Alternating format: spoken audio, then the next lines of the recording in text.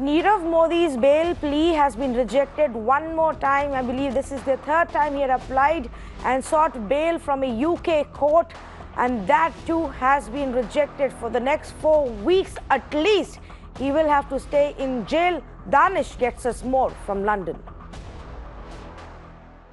The Westminster Magistrate Court refused Nirav Modi bail for the third time today.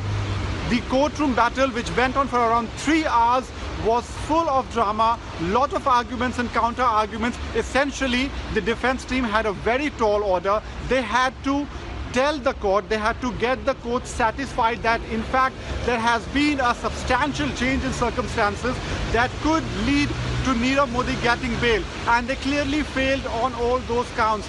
The judge, Emma Arbuthnot, came out after a recess of around half an hour before she read the judgment saying that Nirav Modi will not get bail on the same uh, circumstances on which bail was refused to him on the last two occasions, namely lack of enough community ties in the United Kingdom as the fact that he has been in this country only since December 2017 and the fact that he still has access to funds that could make him a flight risk and also very importantly for India that he can induce or threaten witnesses. And because the extradition case is still on that will have a substantial bearing on the extradition case. And hence Nirav Modi cannot be granted bail.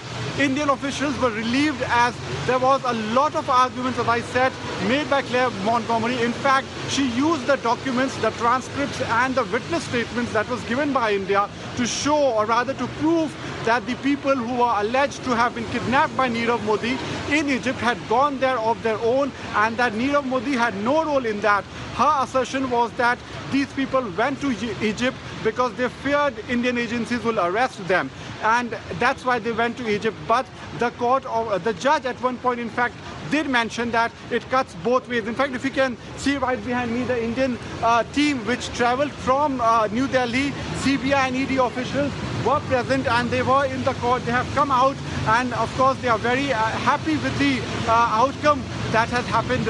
Essentially what this means is Nirav Modi will continue to be behind bars till he is presented uh, at the next hearing.